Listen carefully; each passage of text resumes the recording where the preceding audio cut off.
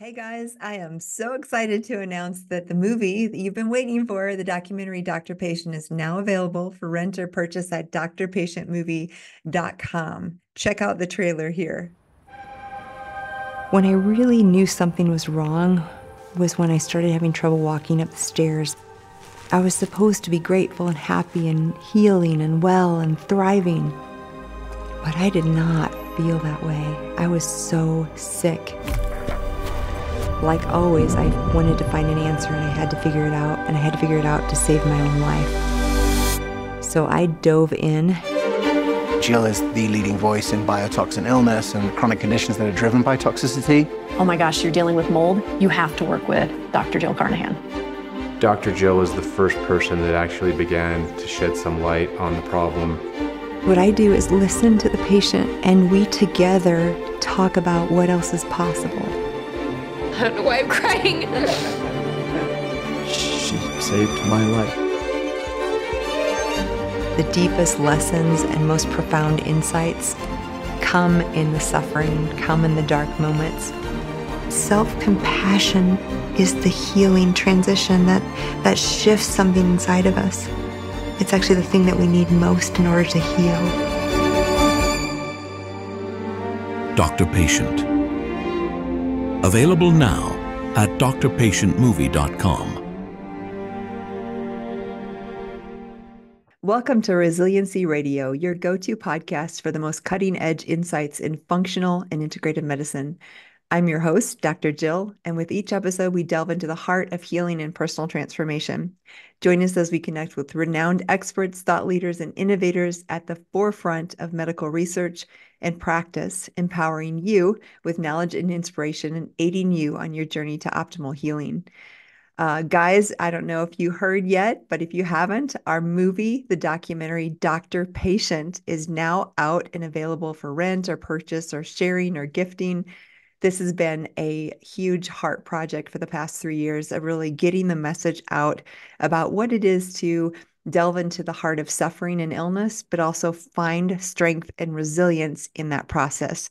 So if you want to hear more or listen or even just watch the trailer, go to drpatientmovie.com and let me know your thoughts after you watch the film.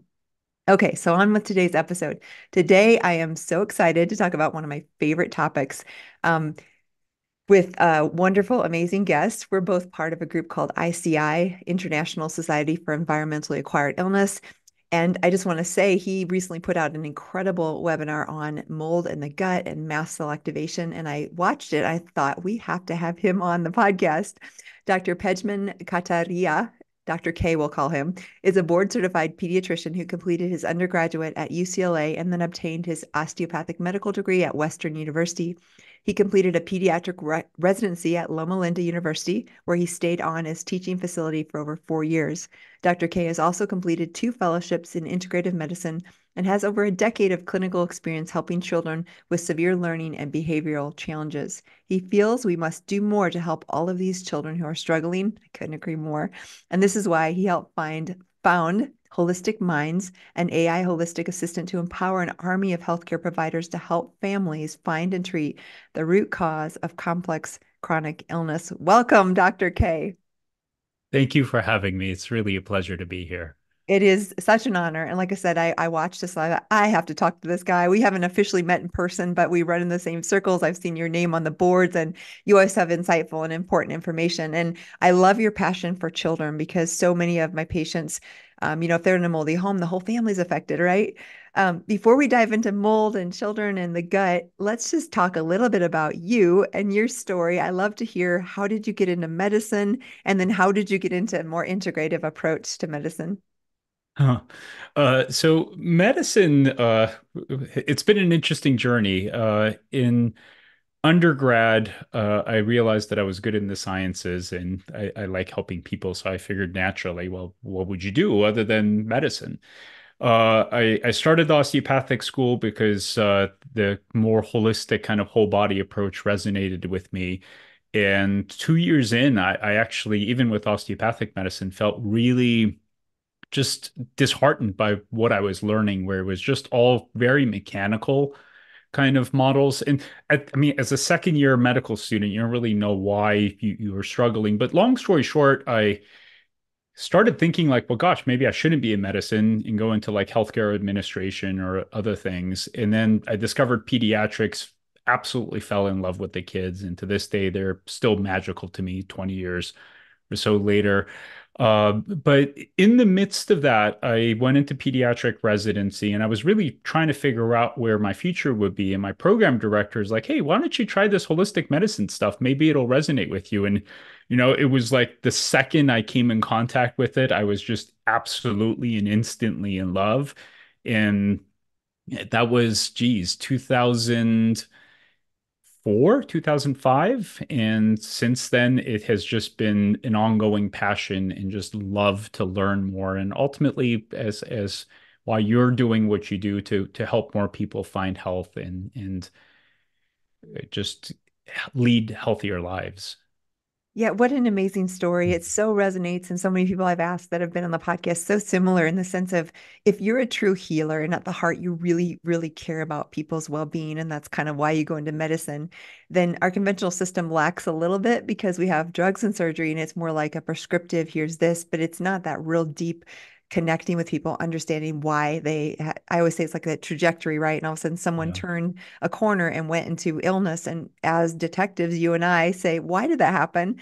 And then I love the pediatric because I think at the, I mean, there is no more true healer than someone who works with children because you really um, you just have to have a special gift so in that i just honor your story i honor what you're doing and so important in the realm of complex chronic illness um, before we dive into mold, what do you think is? I, I feel like what we've seen is this exponential increase, um, even before the pandemic, and for sure since that time, of more complexity, more chronicity, more illness, and even in children. What are you seeing as patterns or things in the children that you see as far as the kinds of illness and the complexity and the background of what you're seeing?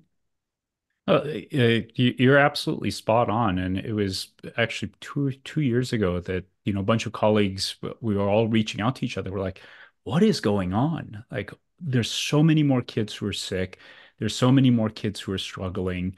And I mean, we're absolutely seeing higher rates of, you know, atopy allergies, autoimmunity, but there's also a lot of kids. It, it's really turning into an epidemic of, of just learning disorders and behavioral disorders and autism. And like, sadly, everywhere you look, you find one or multiple kids who are struggling with something. And it's it's just disheartening because it, it's almost like it's become normal now for kids to have something you know, it's like, oh yeah, yeah, yeah. My, my kid has an, you know, my, my kid has ADHD, and there was one of my close friends from college just uh, literally a week ago. He's like, yeah, we were so relieved that he didn't get the autism diagnosis and he just has ADHD. And you know, it was in that moment I'm like, my God, like what world do we live in where a par- parent celebrates that their kid isn't autistic but they have ADHD? Yeah. And I think like that's the reality. Like I, in, my daughter is seven, she's in the first grade, and it's like in every classroom there there there are one or multiple kids who have some kind of learning disability, and and we've just come to shrug our shoulders and say, well, that that's just kind of how things are, and it's sad. Yeah. Wow, that frames it so well because I, I always say the elephant in the room is the environmental toxic load, right? And I think what's happening is subtly these smaller bodies are taking a um, a much bigger hit when we have mold in the environment or just chemical toxicity. I know as I delved into even Colorado water supply, this PFAS, which is polyfluorinated compounds, all of a sudden all of our water supplies are testing for higher than the legal limits. And and this is uh, these are permanent uh, forever chemicals, which means 50, 100 years down the road, we're still going to have them and probably more. And so our environment has a huge impact. Do you feel like that's part of the reason we're seeing so much of the uh, complex and in, in issues in children? For sure. For sure. And, you know, it's just become the perfect soup, right? You add some COVID on top of it, and then, you know, you add mold exposure, or whatever else. It's just, it's the straw that breaks the camel's back. And for each of these kids, there's a different straw. It's sad. So, how we got talking about this in our topic today is the gut and mold toxicity and how that all connects. And like you said, you probably are seeing more and more. Do you feel like, for me, when I really realized what mold was, how it affected us, it was such an aha. And then I started to view that lens as I saw patients, and I was shocked at how many of my patients that had maybe presented with autoimmune issues or cognitive issues, or definitely kids with ADD or behavioral disorders, there was mold underlying that how did you get into the world of mold and how how much how often do you see that playing a role in the kids behavior or learning disability or issues like that? Uh, so how i got into it this was about five years ago five six years ago. I had this one patient uh, beautiful i think he was eight or nine at the time boy who had just a severe severe case of PANS and PANDAS you know just extreme aggression extreme anxiety anxiety just you know, really off the charts issues. And we tried everything you can possibly imagine. Nothing worked. And the mom was the one that's like, "Hey, what do you think of this mold business?" I'm like, "Right, I don't know. I I don't think it is, but oh, sure, let's look into it." I, I like all my stuff has failed. Like, who am I to say it's not? And we did the urine mycotox, and it, it actually didn't look terrible but she kept persisting. She's like, "Well, I found this guy, uh, Neil Nathan, who does consultations. Are you okay doing a consult with him?" I'm like, "Again, I have no clue what the heck is going on. If he can shed some light, why not?" And that was my first introduction to Neil. And and he heard the story, heard the case, looked at the results, and he's like, "Oh, for sure, this is mold." And you know, that's that's when my eyes kind of bulged out for a second. I'm like, "What are you talking about, man? Like, uh, the the test looks." Normal. Long story short, they tested their home and the levels of mold were so astronomically high that the conventional inspector, he wasn't even a fancy specialized one, is like, this this place is heavily contaminated. You need to leave. And wow. it was one of those stories where literally mom just packed their clothing, left the house, moved into a rental like literally overnight. Uh, and that's what started opening my eyes up to this. And you know, it's terrifying how common it is. And there was probably a point about two years ago that I got to this point where I, I thought like I was losing my mind because it's like, it's not possible for there to be this much mold. It's not possible for this many patients to have it. And I reached out to Neil. I'm like, Neil, am I losing my head? Like, is is it that I'm going crazy or is this real? He's like, no, welcome to my world. this is real. And it's staggering. I mean, you know it better than anyone. It's everywhere. Yeah. Wow, it, you so parallel my experience because I had my personal experience in my office. I, we had a flood in Boulder. I got massive mold exposure. I was having symptoms. Finally found out it's mold, and then I went on the journey to try to heal myself. And in the process, I'm like, oh my goodness, this is a major issue. And then again, knowing that framework and seeing that one, just like your one case, all of a sudden you start to open your eyes to, oh, could this be involved in these other cases? And what I started to see was like over and over and over again. And I was so careful because I wanted to remain objective and not bring my lens to it. But the truth was, I would be like, oh, this can't be mold again. Right. And then I do the testing and then I do the story and then we do the, the environmental testing. And it was so clear it was mold and they got better when they got out of mold. Mm-hmm. And to me, it kept being just like you like, is this, am I crazy? Is this really real? But the truth is, as we open our eyes, and you and I both are in this organization that tries to get other physicians um, to be aware of this. And one of the reasons I do the podcast because it's so common, isn't it? It's sad and shocking. And the truth is, like, we as a physician can help the body, but if they are in an environment where they're swimming in toxic soup and there's a massive mold exposure, there's no amount of supplements or diet or medications that's going to take care of it, is there? No, no. It's a, uh, mean, if, if you're being exposed to constant high levels of toxins, then it, it's difficult. Uh, there, there are some techniques that I've found to be helpful for mild to moderate cases, but the severe cases where it's it's like off the charts levels, like th- those are cases where you can't get people better. Hey, everybody. I just stopped by to let you know that my new book, Unexpected Finding Resilience Through Functional Medicine, Science, and Faith, is now available for order wherever you purchase books. In this book, I share my own journey of overcoming life threatening illness and the tools and tips and tricks and hope and resilience I found along the way. This book includes practical advice for things like cancer and Crohn's disease and other autoimmune conditions, infections like Lyme or Epstein Barr, and mold and biotoxin related illness. What I really hope is that as you read this book, you find transformational wisdom for health and healing. If you want to get your own copy, stop by readunexpected.com. There you can also collect your free bonuses. So grab your copy today and begin your own transformational journey through functional medicine in finding resilience. Yeah, which is why it's so great to have these groups and these people that mm-hmm. understand it to share and and Neil has been leading the way too. Um, so let's talk about the gut because again, where I got connected to you was this phenomenal lecture you did on is the gut really the root, and I love that because it's so true. In my clinical experience, I see that mold causes massive permeability, and then that's our interface with the immune system. But do you want to dive into maybe giving the layperson who doesn't understand that connection why is mold connected to gut dysfunction? Why does that affect the immune system? And maybe give us a little framework to to put this all together of how mold affects the gut. Sure, sure. So, you know, I, th- I think a good starting point is to really contemplate on where penicillin and, I mean, frankly, all of our antibiotics came from. That they're all derivatives of mold and mold toxins, right? Penicillin came from penicillium. And it turns out that most of the mold toxins that we have that, that are out there have direct or indirect antibacterial properties, which makes them exceptionally good for disrupting the microbiome or the microbiome uh, and all the bacteria in the gut. What also is really interesting to look at is this rather large body of information that shows us how the mold toxins and the molds themselves can trigger very weird inflammatory responses, especially within the gastrointestinal tract. And one of the things that makes it even more troubling is it's not just if it goes down this tube that we call, you know, our mouth. When we inhale these toxins, it goes into our systemic circulation via the blood.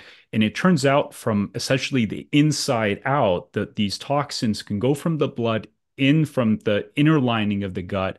And that can actually trigger an inflammatory response within the cells of the gut. And that inflammatory response essentially sets off this cascade of events that causes inflammation, which causes leaky gut. The more leaky gut you have, the more inflammation you get. And you essentially get this vicious cycle of inflammation, dysfunction, microbiome disruption, and all kinds of other weird things that essentially causes this perpetual loop that that has no end. And I mean, if if there's a 30 second summary of of that presentation, it, it would be that. Wow, that's such a mm-hmm. great. Uh, you just did a perfect job of illustrating because it really does um, uh, massively affect the gut. And I'm assuming that you find, especially with your pediatric population, if you start with the gut, you're often going to get a lot of traction in a mold related illness case. Um, so maybe we can talk about like where do you start with this? I just want to comment because maybe people are still not understanding. We have this microbial population that has more DNA in the microbial contents than our own DNA. And so the composition, the types of bacteria and good guys and bad guys that we have in our gut has a profound effect on our heart and our brain and our immune system and every single system in our body. So when Dr. K here is talking about how this disruption happens, it literally the gut is the ground zero for the whole body. So when we get this disruption, and maybe explain a little because I'm sure you've seen this with kids, when you decrease diversity and all of a sudden you kill off with that antibiotic effect some of the good guys what are some of the things that can happen like overgrowth of yeast or overgrowth of other bacteria that can cause issues right? Yeah yeah yeah. So you know an analogy that i give to, for families to kind of help contextualize this is you know the, the gut bacteria are, are communities. And it, it's like having a small community of people where 99% of the people are good loving law-abiding just good good people. And then you've got the one percent that are the bad actors, right? Got a few too many tattoos. They, have got some, you know, stuff. They have a, you know, they have violent tendencies, but because of the 99%, that 1% doesn't act out. When there's some kind of disruption and the 99%, let's say, drops down to 80%, and now the 1% is now more like the 20%, these bad actors suddenly have the ability to cause tremendous disruption within the community. So now they're looting and they're breaking in and they're setting fires and they're doing these things.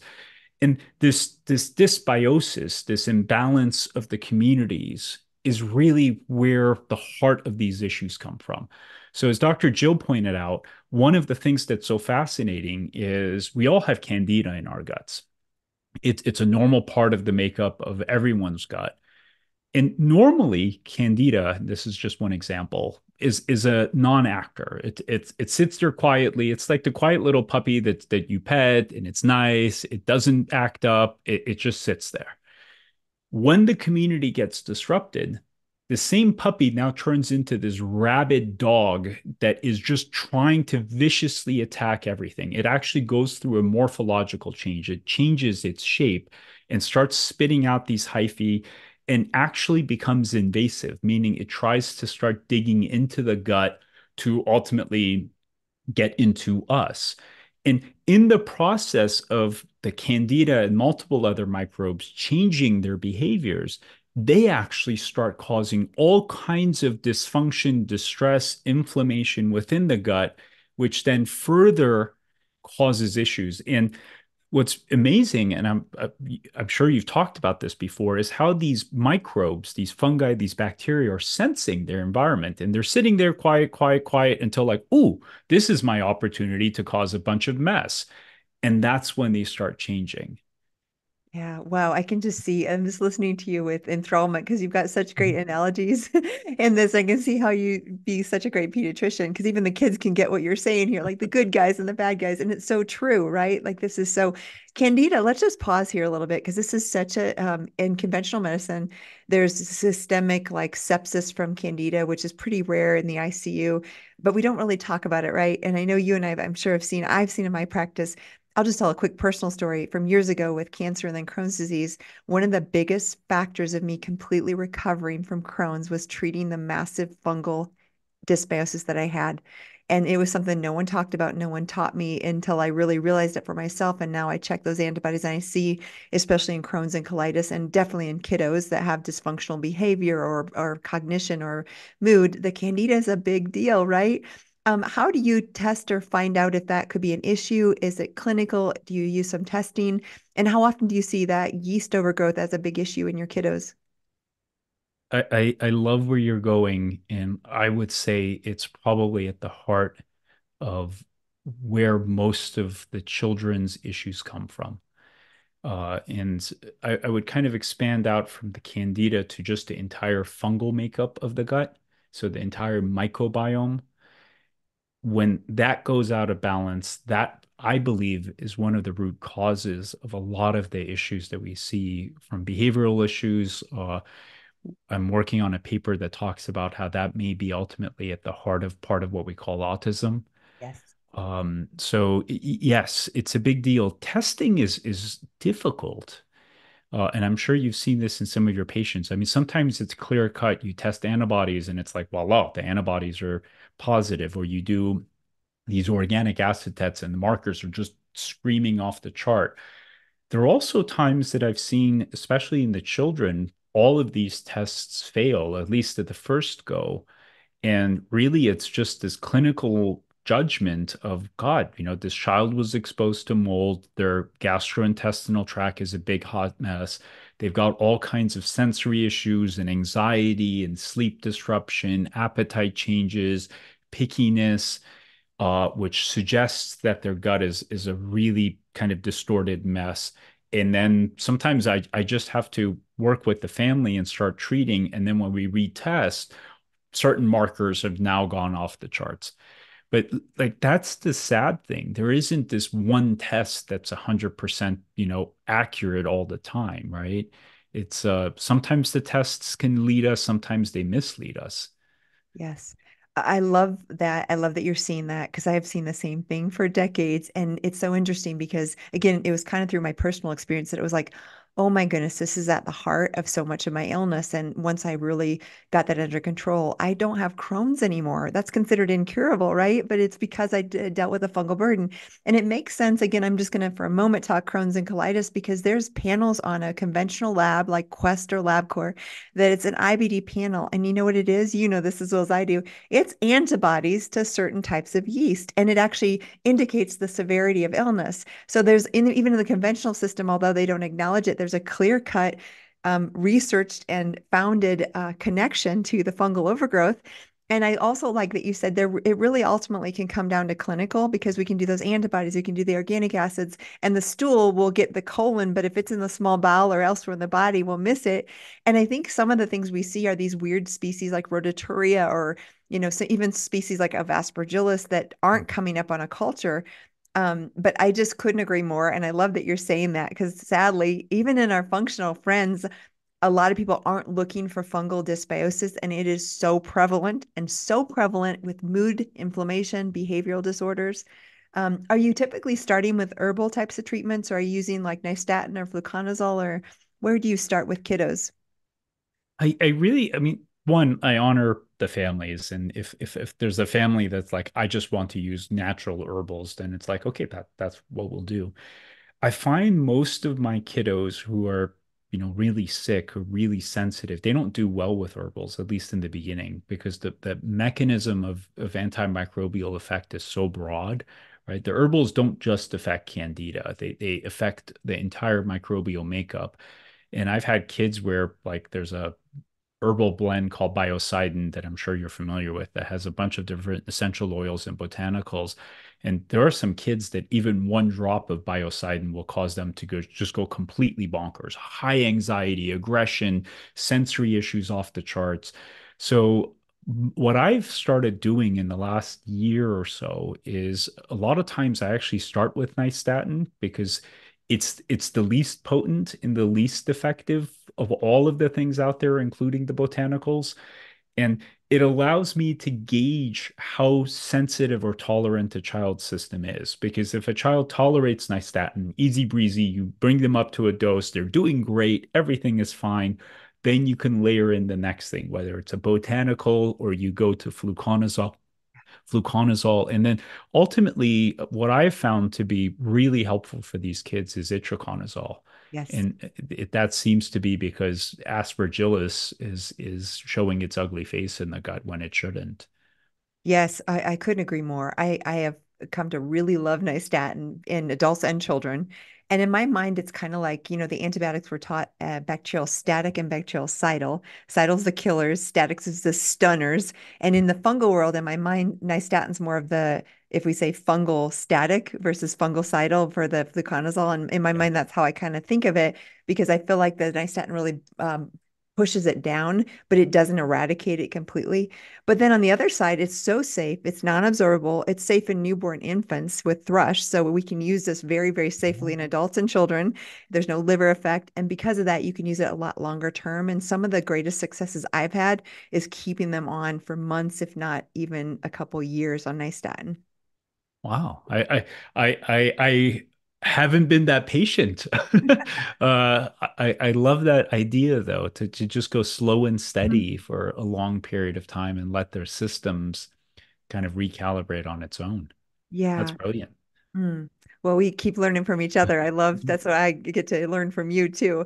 Um, so let's talk about we uh, so the connection between mold and fungus is usually mold weakens immune system and you so eloquently described it changes the the good guys bad guys ratios and things. And so what we're talking about now is fungal overgrowth that can often come in many different situations but for sure in mold.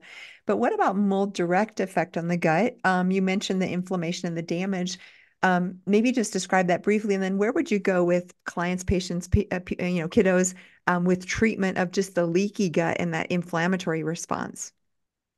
Yeah. So mechanistically, uh, th- there are these cells in our gut called mast cells, and these mast cells are one of the surveillance, if you want to say, immune cells, uh, whose job is there to make sure nothing funky is happening. So it's like the security guard that's constantly kind of roaming the perimeter, right? And it, it's not just the mast cells, there's other ones, but there's a lot of mast cells in our gut. molds and mycotoxins happen to be very irritating to these mast cells and it, it's it's like having the the worst irritating person you can possibly imagine for that security guard that causes them to go completely nuts and when the mast cells get irritated activated they start triggering other cells within the gut to cause inflammation and all of it is like hey alarm something funky is going on here something funky is going on and then the more immune cells show up to try to fight this funkiness that's going on the more damage they cause to the gut the more leaky gut we get. And then at that point, the bacteria and the food proteins and all kinds of other things join in on the party, right? Because that that fence that was supposed to be nice and tight to keep everything on the inside of the gut is now broken, and all this stuff is moving past the fence to where the defense layer is, and the defense layer is now launching an attack on all of this stuff. And at that point, it really becomes this awful chronic cycle where food proteins, bacteria, the lipopolysaccharides, which are these essentially compounds that the bacteria release into their environment, gets into it. And then the immune system is just like, okay, we've we've just got to wage war because the entire barrier is gone and we need to keep the body from dying, right? Because when the gut completely falls apart, we get what's called septic shock, right? Stuff comes in, ends up, heavens forbid, infecting other organs, and that's that's not a good thing for us. So the body invests a tremendous amount of immune force to protect itself within the gut, but that then causes even more damage, and that damage perpetuates everything. W- was that a decent explanation? That was brilliant, brilliant. um, and then what do you do? How do you start to obviously we kind of talked about the fungal overgrowth and those things because you really want to take care of some of that first. But what would be some of the steps that you might recommend for a patient with leaky gut from mold? So, you know, a while ago, and th- this is what kind of led me down this road of, you know, understanding the gut. A while ago, I kept looking at some of my patients and asking, like, why the heck can't I fix their gut? Right uh, and I'm sure you've had this experience where I would do the immunoglobulins, do the elimination diet, put them on probiotics, put them on all these things, and their guts would just not heal. And that's when I had this aha moment of, oh my God, like this environmental exposure plus what's going on with the fungal imbalance in the gut is where this kind of triggering, driving force comes from the thing that I've added to this regimen are these bacterial endotoxins, these toxins that these bacteria produce. Because what I've started realizing is when there's the disruption, these bacterial toxins also start entering the gut. Yeah. And mast cells and certain immune cells in the gut, they have these toll like receptors, TLRs. Uh, and these are like little antenna or sensors that are there kind of scoping things out to see what's good or not. And it turns out that these TLRs happen to be very sensitive to these bacterial toxins, and they start triggering these uh, receptors to activate these cells, which then furthers the inflammation. And where I'm going with all of this is so, what I've started doing is first making sure the environment is controlled. So, whether someone has to leave a home, remediate, sometimes filtration is enough to just control the issues, the exposure. I start using nystatin or other things to bring down some of the fungal burden because that's driving it. And then on top of that, I'll use various things to bind or prevent these bacterial endotoxins from going in. And what I found with that combination, that's usually enough to start calming down the immune response. So uh, serum uh, derived immunoglobulins, SBI, like SBI Protect or Mega IgG 2000. It turns out that these immunoglobulins are awesome, not just for le- preventing leaky gut, but actually preventing these bacterial endotoxins from getting in. Fish oils happen to be really good.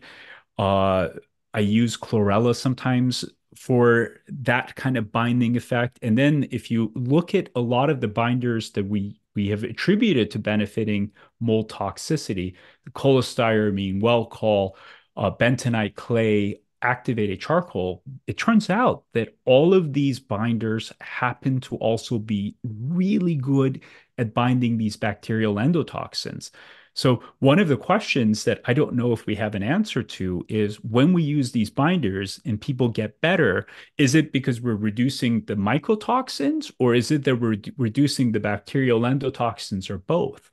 Um, so, we don't know. But, you know, it's not so much the tools, it's really just the way of thinking about it that that's really changed for me. And it, it's coming at it from like, okay, we've got the fungal imbalance We've got the bacterial toxins irritating the gut, and then we've got the gut that's irritated itself. So, what are clever ways where we can reduce these exposures?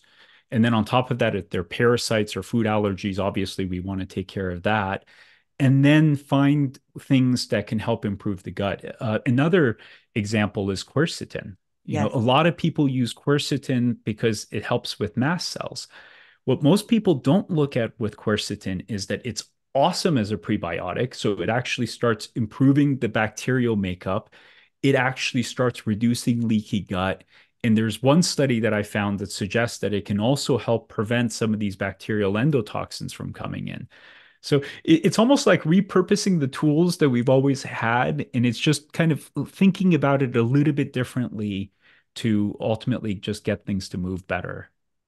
Uh, this is what I loved about your presentation because I was like, he is putting together the so LPS endotoxemia. That's the bacterial toxins you're talking about that we know now that binders are also binding those.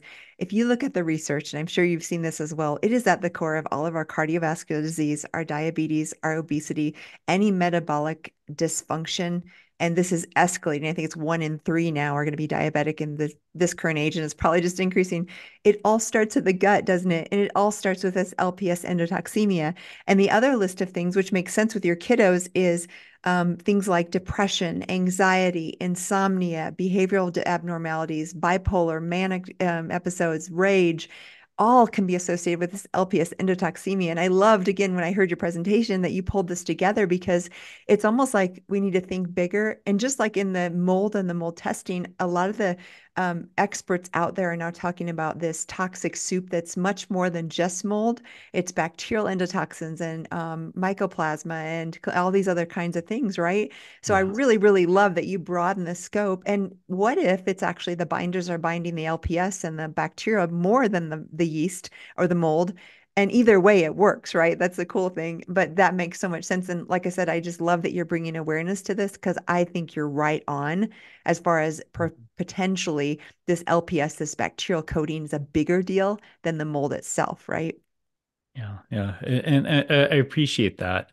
Uh, one of the things that's terrifying me in that this is an area that uh, you know myself and some others are really kind of digging into is when you look into the autism literature, it turns out so one in the neurodegenerative world there's also a lot of i'm sure you know the studies out there looking at these lipopolysaccharides these lps's and neurodegenerative disease and alzheimer's parkinson's uh, and these compounds are highly highly toxic to the brain. Uh, it turns out that there, there are several studies out there that have clearly shown that children with autism have significantly higher levels of these bacterial endotoxins versus healthy controls. And the higher these bacterial endotoxins are, the worse the severity of autism. And one of the you know worries that I have, and I have no idea if this is real or not, is what if what we call regressive autism is actually this tipping point where the child's gut is exposed to the toxins, exposed to the toxins, exposed to the toxins. It's kind of keeping itself together, keeping itself together, keeping itself together, whether there's an antibiotic, a virus, yes. excess toxin of whatever sold, including mold toxins, there's a breaking point, right? The gut loses its ability to keep it together. The microbiome, the fungus makeup, gets disrupted. You get the leaky gut. These bacterial endotoxins now become big players mast cells become activated in a significant way. And then there's that tipping point where that poor child that was keeping it together can't keep it together.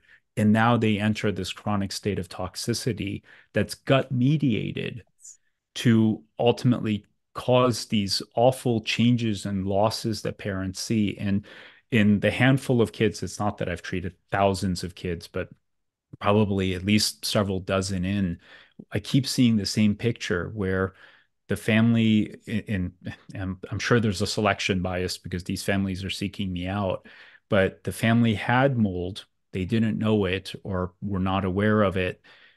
Kid gets exposed, kids gets exposed. Little things, you know, kid has colic, isn't the best sleeper, has some sensory stuff, but certainly is making eye contact, is still doing stuff.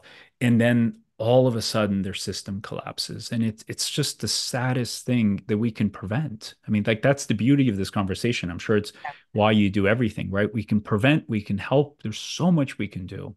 Yes. Yes i love that you're bringing awareness because i agree. This is why i do what i do is like there's so many people out there that maybe can't see you or i but if they hear this podcast and they start to think oh, maybe my house, you know, there was a leak in my dishwasher and I just let it go and now the floors are buckling. And so you start to see these things. And you don't always need, need a doctor to get started if you just fix the problem or get out of the house or whatever it takes.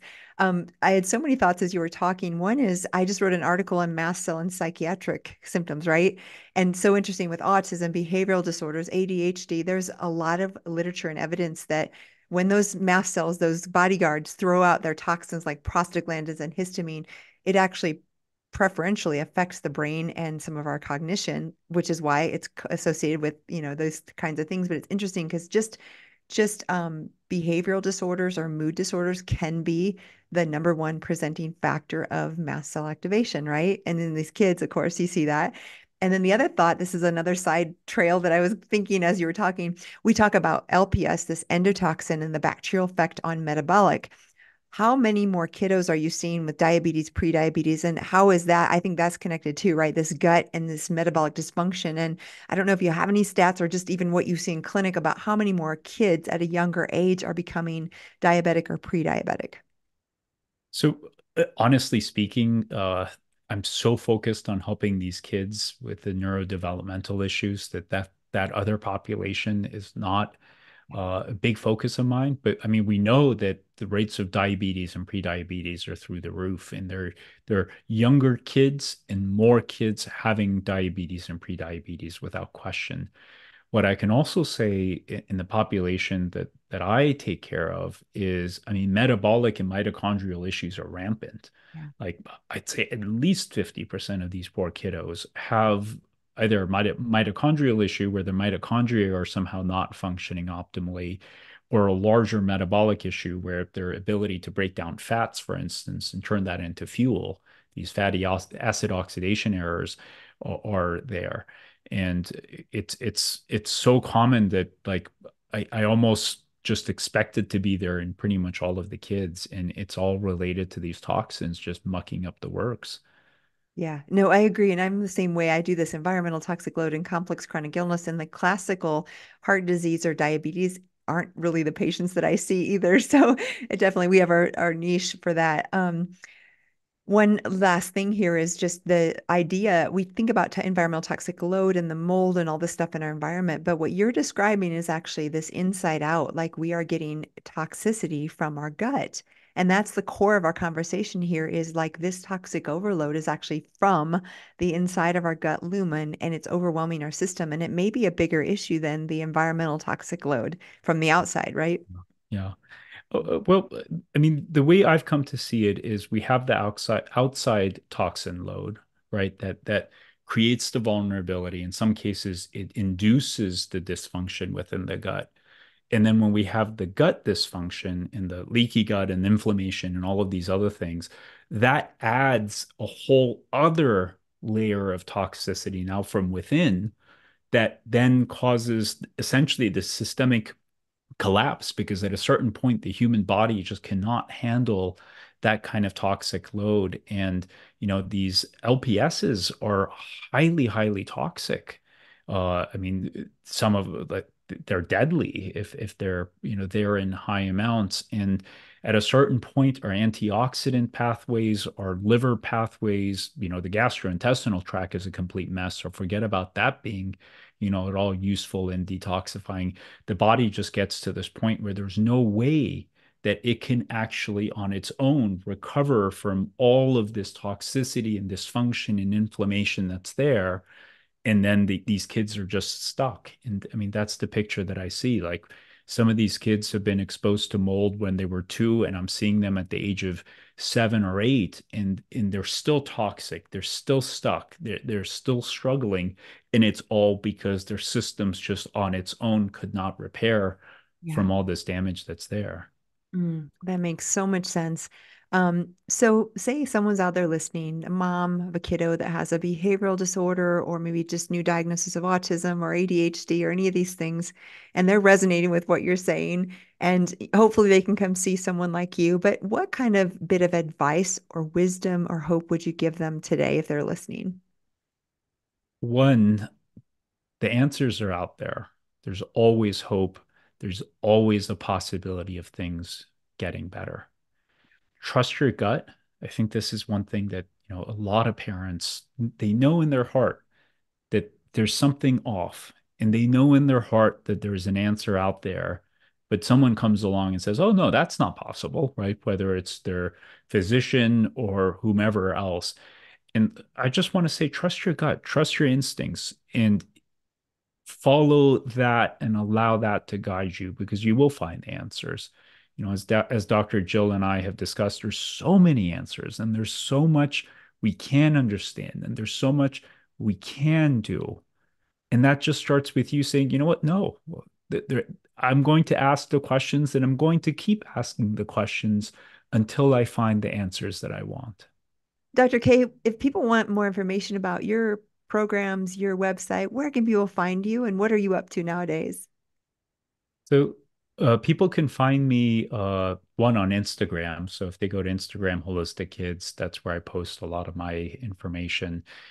Part of what I really want to do is help a lot more families get access to this. And I wish I could be the primary person for every kid out there. That that's just not possible. And that that's why we created Wholistic Minds.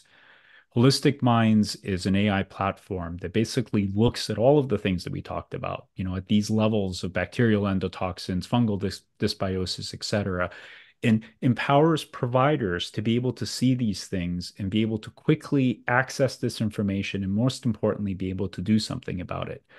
So, eh, for any of you that are interested, go visit Wholistic Minds, and then with that, you can get teamed up with a provider that that will be able to help guide you through this because I want every kid out there, every family out there to be able to access this kind of care and access this kind of information. And I believe technology is how we can do that at a very large scale. Love that. And where's the website where people can find this? So it's www. Uh, holistic with the W. So W H O L I S T I C, and then minds, plural, M I N D S dot com. Wonderful. Thank you again for coming on the podcast. My pleasure. Thank you.